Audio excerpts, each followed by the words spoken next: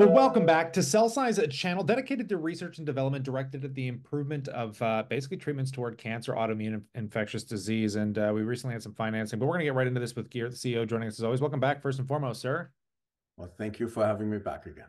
Always a pleasure to get you right back on here. So you recently announced the pricing uh, of an offering of uh, basically 3.87 million shares, common stock, around two bucks, raising 7.75 million, um, which is offering quite a bit of liquidity. Do you want to just talk about what this means for the company, this cash uh, injection, and how you're going to be utilizing it? Look, we're a biotech company. That means we're cash flow negative, right? But people don't like that one. I just remind them Amgen was cash flow negative. It was a fantastic investment, right? Uh, pharmacyclics, I mean, people made 100 times their money. So the idea of a biotech company is simple. You want to develop a major drug. A major drug is worth literally, I'm not exaggerating, billions. Immunogen was purchased with a, a drug that they just proved to work um, for $10.1 billion in December. So therefore, what's our job as a small company?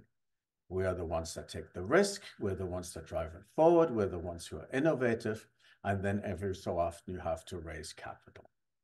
And the fact that we were able to do this very nice deal, uh, no warrants, no structure, no nothing, the cleanest type of deal you can do, and the stock has reacted well to it, that's a very, very good sign for our future.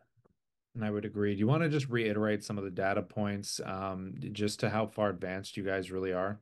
So you see, we've talked about this before. The biggest problem for a biotech company is does the drug work or not? Well, we did a very long, massive phase three study in head and neck cancer. And we know that if you select the right patients, you have massive survival benefit. Survival is the gold standard. You can't do, I mean, honestly, think about all the people who've died of cancer. All they care about, do I live or not, right? And so the five year survival without our drug, with standard of care, is 45%. With our drug, it's 73%. There's not a little bit. This is a massive difference, right? It almost doubles your chance of living. At five years, it really means something. And safety, very, very nice. Cancer drugs kill people. We don't have any of these issues.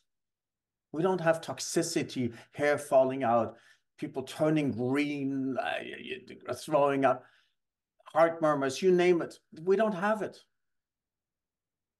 So therefore, you just have to do what the regulators tell you to do. You prove that your drug works, you help masses of people and also make a lot of money. Yeah, I love the uh, mission driven sentiment here, and I think it was beautifully stated. So I'll pass it off to the viewers. We'd love to know what you think and consider subscribing because when this catalyst news continues to hit the wire, of course, we'll bring it to you here. But on that note, we look forward to catching you in the next one.